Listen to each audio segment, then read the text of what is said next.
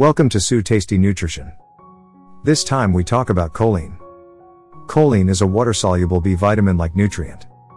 Choline is a constituent of the cell membrane and membranes of cell organelles. A cell organelle is analogous to an organ and is a specialized part of a cell. Choline is an essential nutrient that must be obtained from the diet. Choline is essential in the metabolism of fat. Choline helps make acetylcholine.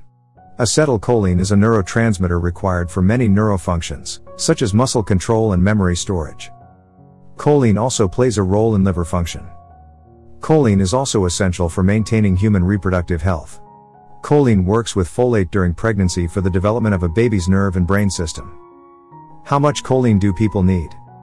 For people aged 19 and older, the AI is 550 mg and 425 mg for men and women, respectively. AI means adequate intake, which is the recommended average daily intake level of the nutrient. What are the excellent food sources of choline? Choline is a natural food component found in a variety of foods.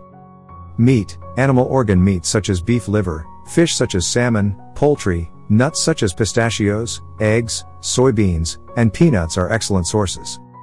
For example, 3 ounces of braised beef liver gives you 358 milligrams of choline, and one large egg gives you around 150 milligrams of choline.